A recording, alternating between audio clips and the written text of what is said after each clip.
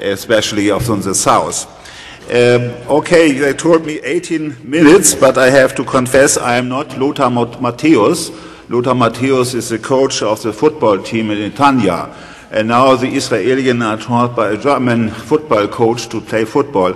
I guess next time the European contest they will play, take part and will, they will win. I hope this for you with Lothar Matthäus. But I try to take, take this in 18 minutes. Uh, the title, the given title, is Anti Semitism and Racism in German textbooks 1918 to 1945. And the thesis is extermination by education. What does it mean, extermination? Extermination means not only, but above all, the Shoah. The Shoah must be seen in the context of the Nazi attempt of Reinigung des Volkskörpers, purification of the body, of all so-called racial inferior persons, all so-called asocial persons, and also all so-called insane persons, and we just heard about the euthanasia action. Extermination means, secondly, the intended but finally lost Rassenkrieg um Lebensraum im Osten, racial war for living space in the East. And the intention was not only to kill Jews and Gypsies, in the Generalplan Ost, Generalplan East, there was a plan to kill up to 30 then 50 million Slavish people. And extermination means the nearly accomplished endgültige Lösung der Juden- und Zigeunerfrage, final solution of the Jewish and Gypsy questions. I know that is not the perspective of Yad Vashem, but I think that was the perspective of the Nazis and the Germans, and so far we have to follow them. Education, extermination by education means, or we can also say extermination by indoctrination means, it was not the finance capital, capital like the Marxist interpretation said and still saying. It was not by chance, like the functionalist Hans Mommsen and others are saying.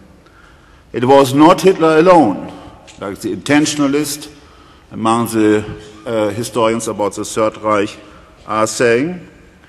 It were the Germans, but not all Germans, and Daniel Goldhagen, and so far is correct if he said no Germans, no Holocaust, but it's incorrect if he is saying all Germans.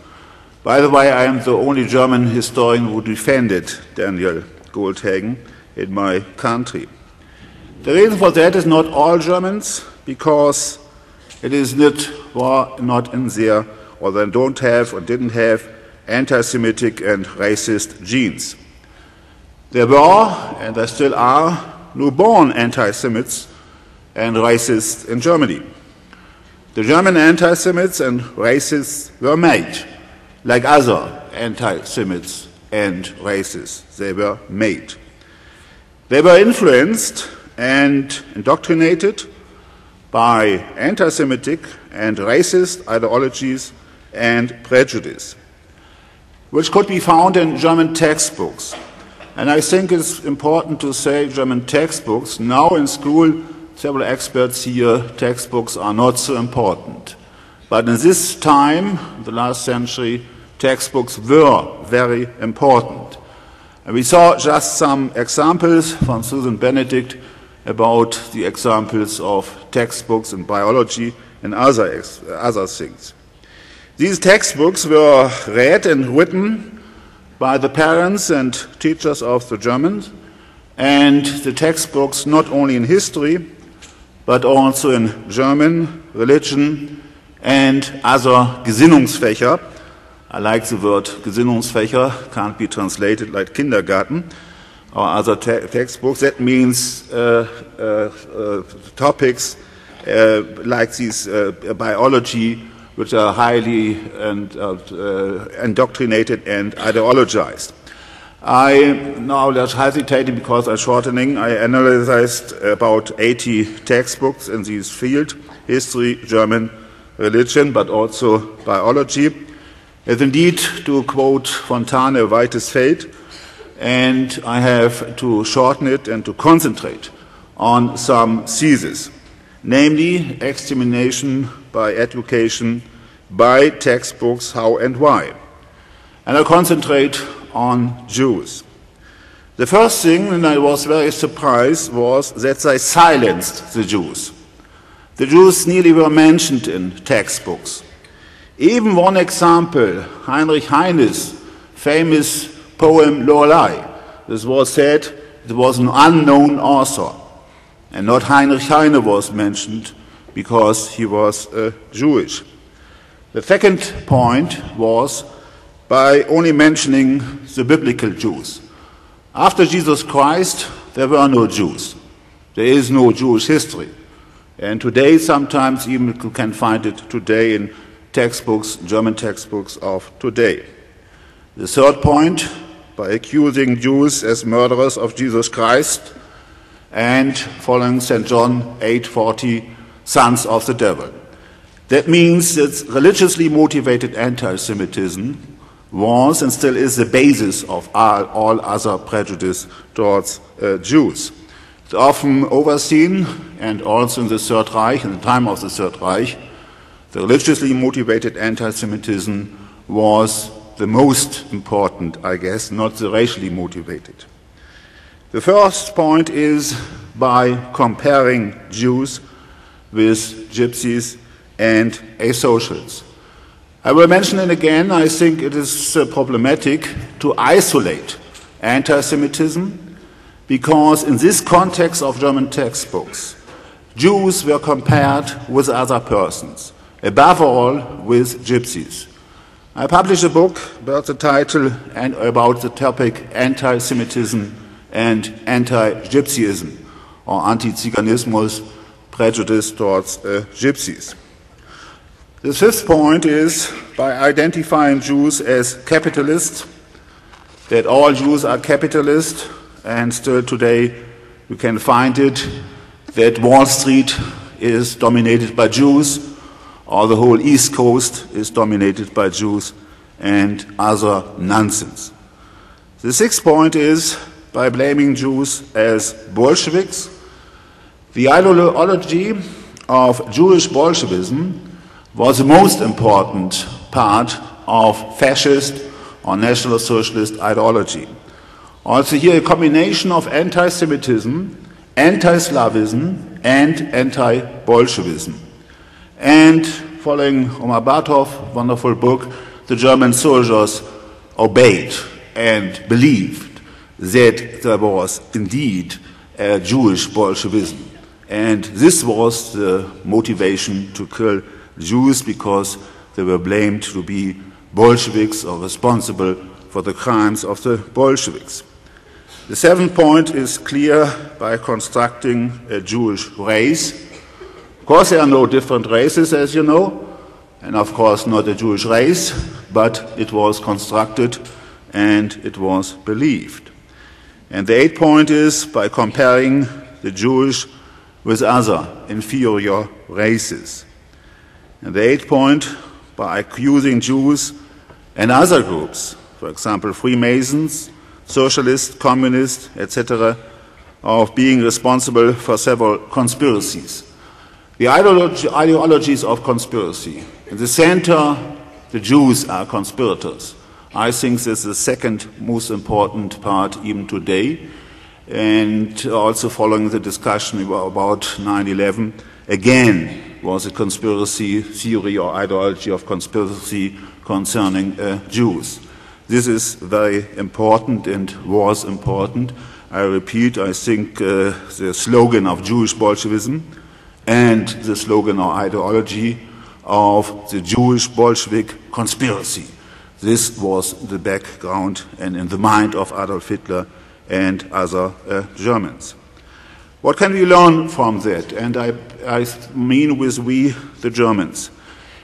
I heard yesterday it is necessary to have an universal Holocaust education. Maybe it is possible for you, the victims, but not for me, the member of the German, the German. There's a difference between perpetrators and Germans and victims, perpetrators and victims. And I think we can't, the German can't follow you, we can't imitate the Jewish example.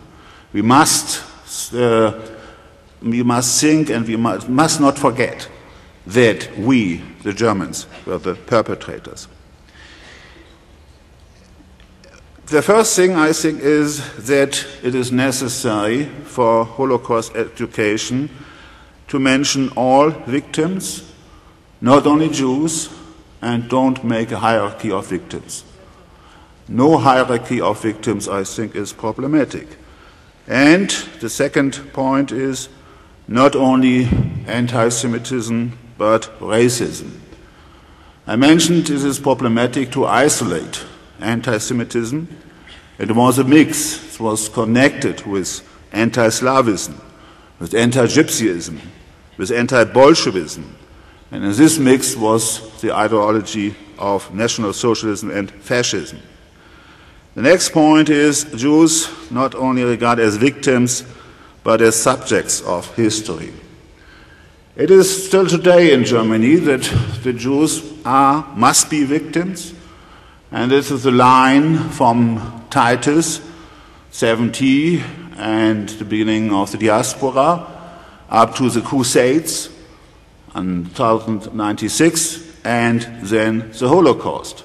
And this is then the end. The Jews must be victims.